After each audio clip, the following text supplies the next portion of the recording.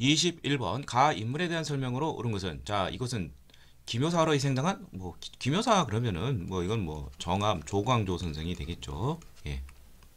중종 때 있었던 예, 기묘사 기묘사림의 대표적인 인물. 자 이 사람은 아 도교 행사 기간이 초제를 주관하는 소격서 폐지 또 훈구 공신들 위훈 삭제 이걸로 이제 결국 기묘사로 사사되었습니다.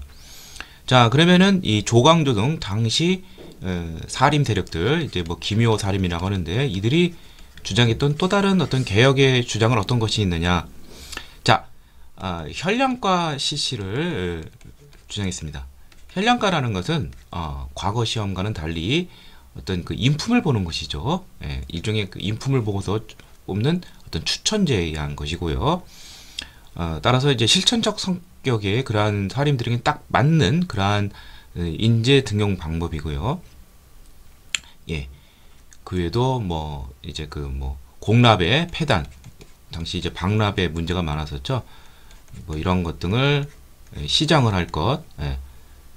이런 것 등을 이제 예, 주장하고 또 어, 유교 개혁 정치를 위해서 소학이라든지 예, 뭐 아, 향약, 예. 소학과 향약을 실천할 것을 확대 예, 실시할 것을 이제 건의하기도 했습니다. 자, 그래서 정답은 바로 3번이 되겠고요. 자, 나머지 보도록 하죠. 최초의 선원인 백운동 선언을 건립한 사람은 풍기 군수였었던 이제 주세붕이 예, 세우게 되었죠. 1543년. 자, 양명학을 연구하여 강화파를 형성한 사람은 소론계의 정제두가 어, 되겠습니다. 자, 그래서 어, 이제 숙종대에서 어, 영조 초까지 활동하는 인물인데요. 예. 그 다음에 동호문답을 저술하여 어, 뭐 수미법 등 이런 어, 이런 박라의 폐단 이런 것들 이제 시정할 것, 뭐 등등 개혁 방안을 제시한 사람, 10만 양병소로 유명한 사람, 바로 율곡 이이가 되겠죠.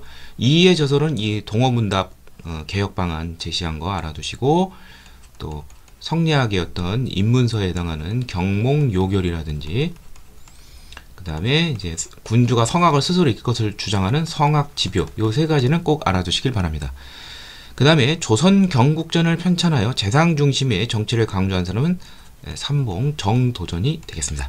자, 정답은 3번이 되겠고요.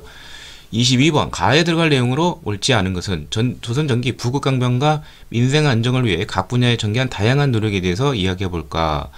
자, 세종 때 강우량을 측정하는 치국이가 제작이 돼 있고, 자, 등등등등 주로 이제 세종대에 집중이 돼 있죠. 자, 한번 보도록 하죠. 신무기인 신기전과 화차가 개발이 되었다. 예, 세종 때에 이제 신기전이 이제 개발이 되고 이걸 화 저기 술에 실어서 한꺼번에 뭐 수십 발을 쏠 수 있는 이쪽에 다연장 로켓포 같은 것이 세종 때 예, 또 세종과 그 아들 문종 나중에 이, 이 당시 이제 그 대리청정을 했는데 음, 굉장히 그 무기에 관심이 많으신 분이에요. 그래서 이런 것이 이제 개발이 됐고요. 뭐 비격 진천이라든지 천체 운행을 측정하는 혼천이 예. 그래서 이런 천체 운행을 통해서 이제 뭐 역법이라든지 이런 것에서 도움이 되는 것이죠. 자, 그런데 이덕무 등이 훈련 교범인 무예 도보 통지를 어, 편찬하였다. 자, 이덕무는 이제 조선 후기 정조 때 정조가 이제 규장각을 어, 세우고 여기에 이제 서울 출신 어, 검서관을 이제 네 명 더었는데 그 중에 한 사람이 바로 이덕무가 됩니다. 이덕무라는 그 이제 청장관 선수로 유명하죠. 이외에도 뭐 발해고를 저술한 유득공이라든지 그 다음에 뭐 북하기를 지은 박재가라든지 뭐 서이수 요 네 사람을 말하는 것이죠. 예. 또 뭐 여기 이제 백동수라는 사람도 있죠 또 예. 무사 출신. 자 그 다음에 강희맹이 자신의 경험을 바탕으로 시흥 지역의 그러한 어, 경작 그러한 경험을 적은 금양, 금양이 오늘날 시- 경기도 시흥 쪽이 되죠. 예, 이 금양 장록이 나오던 시기도 이게 이제 조선 초 성종 때가 되겠습니다. 예, 성종 때 예. 금양 잠록 알아두시고요. 그 다음에 국산 약재와 치료 방법을 정리한 이제 향약 집성만 이게 이제 세종 때 있었죠. 예. 세종 음, 15년에 이제 이 향약 십성감이 간행이 되고 또 의방주치라는 백과 의학 백과사전도 나오게 되었죠. 자, 그래서 정답은 자, 이덕무 등 이런 사람들이 활약하던 시대기 조선 후기 정조 때다. 그래서 정답은 3번이 되겠습니다. 23번 밑줄근 왕의 업적으로 오른 것은 왕이 이르기를 양평균 허준은 허준 동의보감 아 이 사람이 활약하는 시기 바로 광해군 때이죠. 예. 자 광해군은 어, 선 예, 선조 때 있었던 임진왜란의 그러한 어, 그런 이제 그 나라가 많이 어수선한 이런 것을 전후 어, 수습책을 적절하게 잘 예, 펼친 인물이 예, 됩니다. 그래서 대내적으로는 어떤 일을 했느냐 여기 나온 것처럼 이제 병이 이렇게 막 들끓으니까 이 병을 치료해야 되겠죠. 그래서 허준을 시켜서 동의보감을 편찮게 하고 그 다음에 경 어, 경제적으로는 이제 대동법을 이제 백성들의 부담을 줄여주기 위해서 대동법을 실시를 했고요. 경기도에부터 자, 그 다음에 뭐 양전 사업을 한다든지, 에, 뭐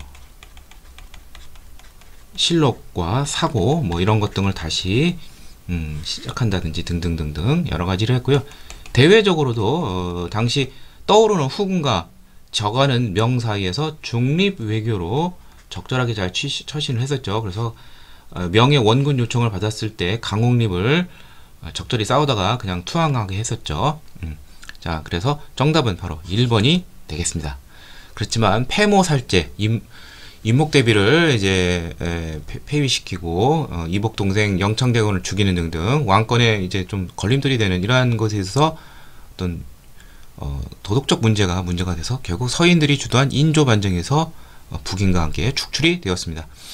자 탕평비를 세워 붕당 정체 폐해를 경계한 사람은 영조죠. 예. 초계 문신제 37세 이하 당하관들을 국왕이 직접 제교시키는 초기문전을 시행한 사람은 정조가 되겠고 육조 직계제를 처음 시작 왕권을 강화한 사람은 태종이 되겠죠. 다시 재시시한 사람은 이제 세조가 되겠고 다 왕권 강화 관련돼 있습니다. 집현제를 시, 설치하여 인재를 육성하고 편찬 사람을 한 사람은 이제 세종대왕이 되겠죠. 예, 정답은 그래서 1번이 되겠습니다.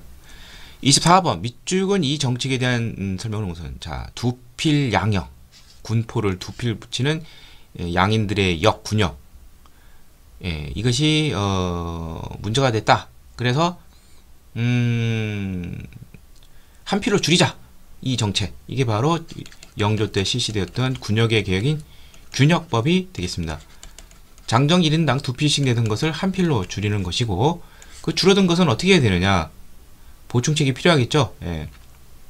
그래서 결작이라고 해서 1결당 2두씩 예, 지주에서 걷고 선무 군간포라고 해서 부유층에게 어, 감투, 선무 군간이라는 것을 어, 제수하고 군포로 걷죠. 그 다음에 어, 어, 염, 선세, 선박 등등 소금 이런 음, 세금을 이제 정부가 직접 걷는 것이죠. 자, 그래서 어, 정답은 바로 5번이죠. 여기 재정 부족 문제를 해서 지주에게 결작을 부과했다.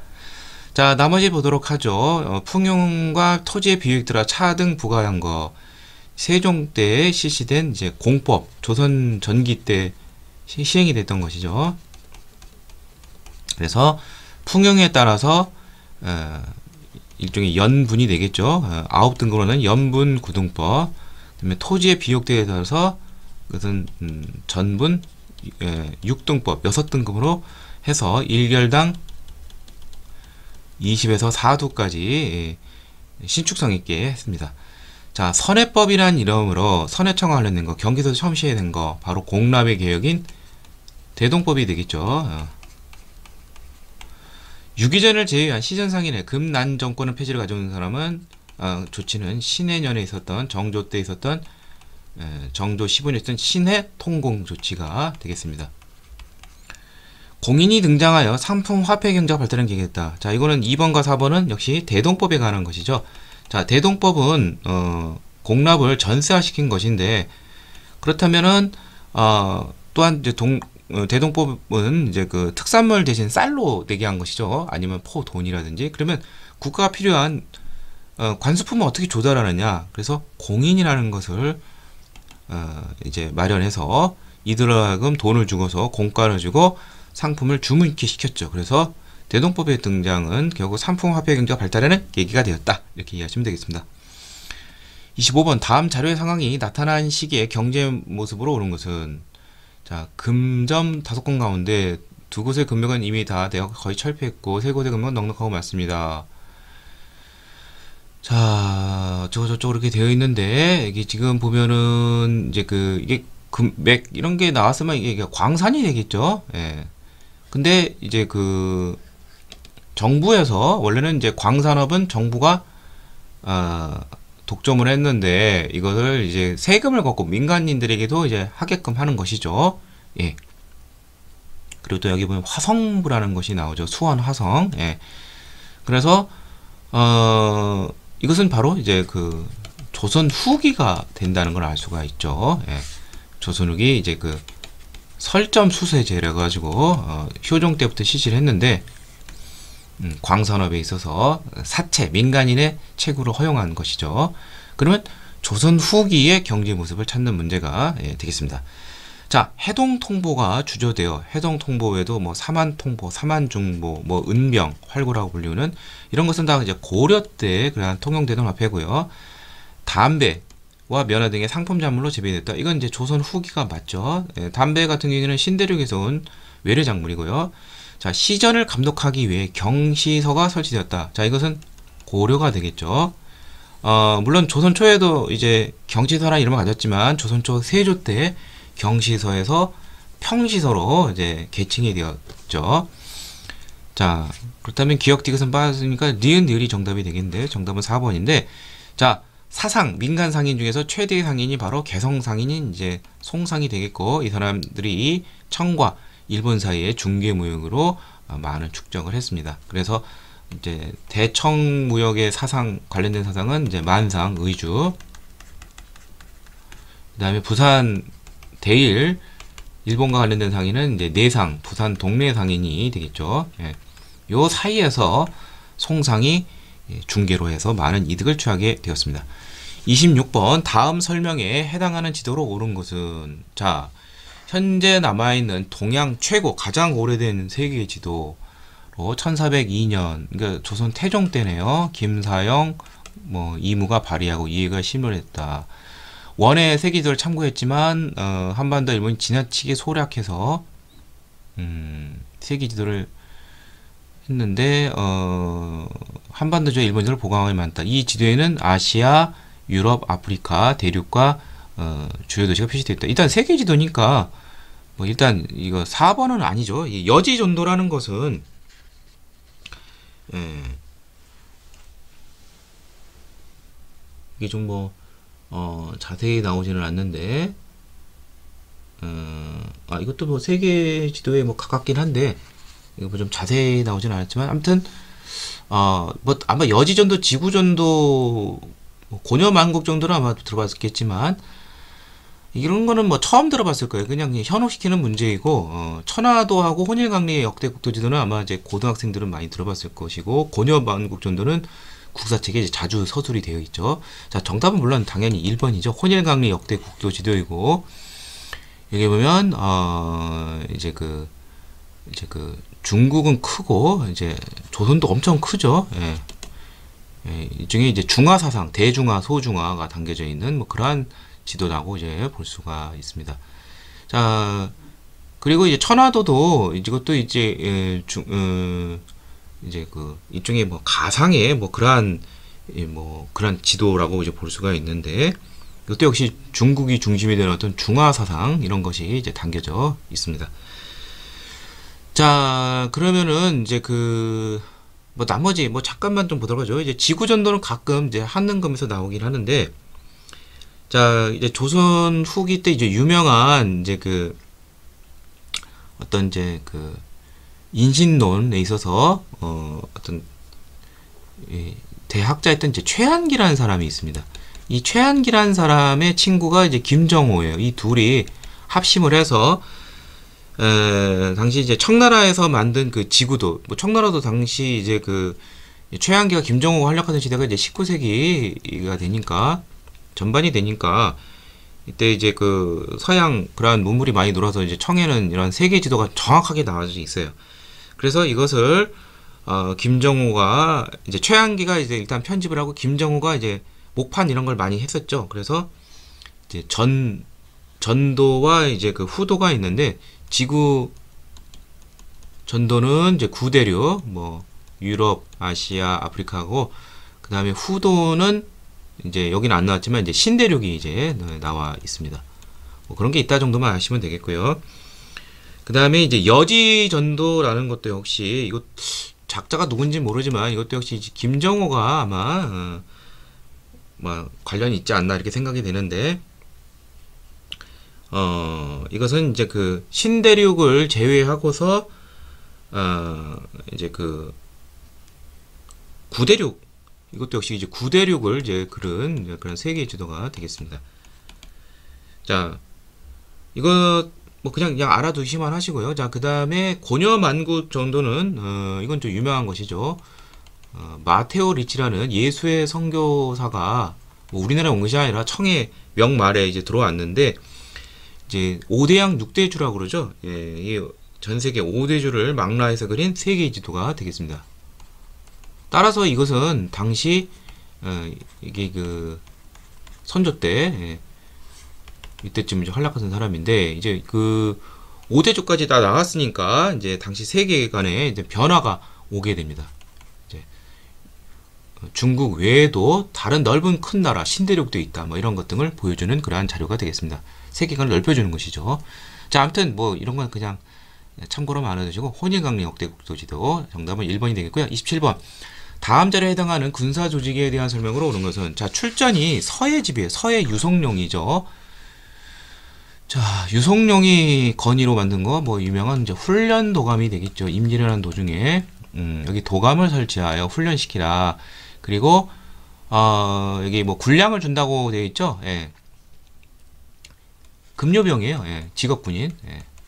그리고 어, 여기에 이제 조총 쓰는 자, 창칼을 쓰는 사. 그래서 삼수병을 양성한다. 그래서 예, 총을 쏘는 포수, 창을 쓰는 살수, 어, 활을 쏘는 사수, 뭐 등등 이렇게 삼수병을 양성을 했습니다. 그래서 정답은 3번이 되겠고요. 예, 훈련 동안 임진왜란 도중에 예, 설치가 됐습니다.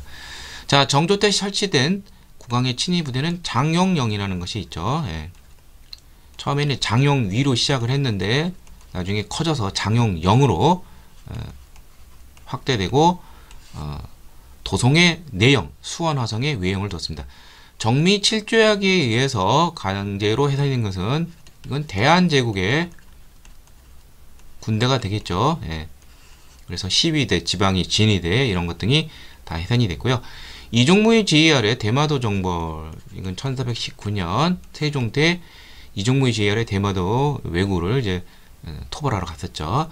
양인 개병의 원칙에 따라 의무병으로 구성이 됐다. 자, 이것은 이제 급료병 이제 양인 개병은 양인들은 다 자동적으로 군사가 된다는 뜻인데 이건 그것이 아니라 아, 능력이 있는 자를 지원을 받아서 이제 선발하는 그러한 것이고 급료병이라는 거 직업 군인이 되는 것이죠. 의무병이 아니라 자 그래서 정답은 3번이 되겠습니다. 28번 다음 사건 이후에 전개된 사실로 오는 것은 10인 장씨 장희빈의 아들은 왕비의 소생이 아니므로 왕자의 명호를 어, 원자로 정한 것은 너무 이른 처사입니다. 자 이랬더니 예, 왕명을 가벼 여긴 상소를 올린 송실의 관적을 박탈하고 조선바로 되돌아 이게 바로 유명한 숙종 때 세 차례 한국 중 두 번째 있었던 기사 환국이 되겠습니다. 자, 이 기사항국이 여기 나온 것처럼 이제 그 원자 정호 문제를 놓고서 어, 당시 희빈 장씨가 남인과 연관이 돼 있죠. 예, 남인이 승리를 거두고 어, 서인, 노론 이쪽이 이제 패배를 하면서 송시열, 서인의 노론의 우두머리인 송시열이 사사가 어, 되었습니다. 자, 그 전에 이제 경신 황국이 있었죠. 어, 이때는 경신 대축철이라 가지고 남인이 대거 쫓겨나게 됐죠. 이른바 이제 유학 사건이라 가지고 어, 당시 이제 그 남인들이 이제 그 어, 국방력을 확대하고 뭐 이런 것 등을 이제 역모로 보라는 것이죠. 자, 이것을 기회로 해서 서인이 승리를 하고 남인이 이제 패배를 하고 대거 사사당합니다. 허적, 허, 어, 뭐 윤휴 이런 사람들이 희생을 당했죠. 자, 그 다음에 마지막 황국이 이제 어, 갑술 황국이 되는데 숙종이 변덕이 아주 죽, 죽글듯이 자주 변하는데 어, 장희빈을 중조를 했는데 이번엔 다시 또 어, 이, 이 인현왕후를 다시 이제 중전으로 복위시켜요. 예. 인현왕후 이 사람은 이제 서인과 관련이 돼 있는데 복위시키고 이제 장희빈으로 다시 이제 강등시키죠. 어. 중전이었는데 그리고 대거 남인들도 같이 몰락을 하게 되었습니다. 이후로 남인들은 재기가 불능해졌다 이렇게 이해하시면 되겠습니다. 그러면 요 사건 이후는 이제 갑술왕국 이런 것 등을 찾으면 되겠죠. 예. 아 갑술왕국도 되고 어 이제 송시열을 사사시키면서 기사왕국이니까 인현왕후가 폐기되고 어, 남인이 권력을 잡겠죠. 예, 요게 정답이 되겠습니다.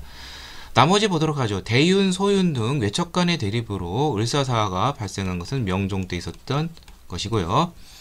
음, 이때 대윤, 어, 명종의 형인 인종 때 외척인 윤인밀파 대윤, 그 다음에 현직 명종의 외척인 윤원영 일파의 에, 소윤. 이 문제에 이제 그 사림이 연루가 돼서 희생을 많이 당했죠. 공신 책봉에 불만을 품고 인조 반정의 공신이 컸던 이괄이 반란을 깬거 1624년에 있었죠. 서인과 남인이 두 차례 거쳐 예송을 전개하였다. 현종 때 예, 자의 대비에 인조의 개민 자의 대비에 복상 문제를 놓고서 어, 이제 그 기해 예송과 이제 갑인 예송 1659년, 1674년 두 차례 있었는데 각각 서인과 남인 승리했습니다. 이조전랑 임명을 둘러싸고 사림이 서인과 동인으로 어, 나뉘었다. 동서분당 이거 선조 때죠. 예, 그래서 1575년에 음, 어, 각각 김효원을 중심으로 한 신진사림의 동인과 심의겸을 중심으로 한 기성사림 이제 예, 설인으로 나뉘어지게 되었습니다. 29번 가에 들어갈 내용으로 오는 것을 보기서 그런 것은 조선 후기 국학 연구 중국 중심의 세계관을 탈피하고 우리의 전통과 시대에 대해서 관심이 확대하고 여기에는 이제 우리 말, 우리 역사, 우리 땅, 뭐 이런 것 등을 이제 연구를 하겠죠. 자, 하나씩 보도록 하죠. 어, 남북국 시대를 표시한 유득공의 발해고 정조 때 그 서울 출신 규장각 검서관이죠. 예. 그래서 우리의 그 발해의 역사, 이걸 우리 민족사로 인식을 하게 된 거 맞죠? 예. 그 다음에 어, 전국의 지리 정보를 정리한 이 팔도 지리지 예, 인문 지리서이죠. 이 팔도 지리서는 이제 조선 전기 세종 때 편찬이 됐죠. 그러니까 이건 아니고 우리나라 역사 지리를 아, 정리한 아방강역고 이거 정약용 다산 아, 정약용 예, 우리 거에 관심이 많으니까 역사 지리를 정리한 거. 정조 때니까 당연히 이거는 맞죠. 조선 후기 고조선부터 고려까지 역사를 정리한 동국통감은 조선 전기 성종 때 서거정 등이 중심에서 편찬이 된 것이죠. 예, 그러니까 이거는 아니죠. 예, 따라서 정답은 기억과 디귿 2번이 되겠습니다. 자, 30번. 가에 들어갈 세시풍속으로 오는 것은, 자, 지금 현재 심화 과정에서는 아직 세시풍속 문제가 나오지 않는데, 예전에는 좀 고급편에서도 많이 나왔어요.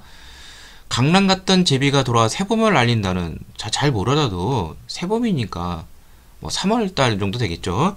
그래서, 아, 이제 그, 홀수로서 그 겹치는 날, 이런 것을 이제 그 좋은 날로 치죠. 그래서 3월 3일, 음력 3월 3일, 이것을 우리는 삼진날이라고 하게 됩니다. 그래서 강남에 갔던 제비가 다시 돌아오고 이때 이제 봄에 이제 피는 대표적인 어 꽃이 진달래죠. 이걸로 뭐 화자를 먹기도 했다 이렇게 되어 있습니다. 자 나머지 보도록 하죠. 백종 백중 또는 백종이라고 하는데 어, 이건 이제 음력 7월 15일이 되겠습니다. 음. 이제 그 이거 완전히 이제 그 여름으로 이제 된 것이죠. 어, 그래서 어, 이때 되면은 이제 그 이제 가을로 이제 슬슬 접어드는 것인데 음력 7월 15일이면 한 달 뒤면 이제 한가위가 되고 이제 100가지 과일이 이제 어, 이제 수확을 이제 슬슬 이제 거둬갈 시기가 예, 됩니다. 그래서 굉장히 이제 넉넉해진다는 것이죠. 그래서 어, 이제 백중날이 되면은 이제 머슴들도 좀 쉬게 예, 유급 휴가를 주게 됩니다. 돈을 주고 그래서 장이 생기기도 하는 백중장 뭐 이런 게 있고요. 칠석은 이제 뭐 유명한 7월 7일이죠. 음력 7월 7일 견우와 직녀가 헤어졌던 이 두 사람이 만나는 뭐 그런 계획이 되는데 음력 7월 7일이면은 이제 굉장히 그, 그, 뭐라고 하죠? 그, 장마가 있고 굉장히 무덥고 습할 때죠. 그래서, 어, 이때 그, 어, 이제 폭의 폭서라고 해서 옷과 책을 햇볕에 철저하게 습기를 제거하고 말리는 이런 것 등이 있고요. 그리고 이제 직녀와 관련된 게 이제 여자들이 그 바느질 솜씨를 대루는 이제 걸교 싸움 예, 이런 것이 있었다는 거. 뭐 대보름은 뭐 잘 아니까 음력 1월 15일이죠. 예. 한가위 음력 8월 15일. 예. 이건 뭐 잘 아니까 뭐 이런 거로 하도록 하겠습니다.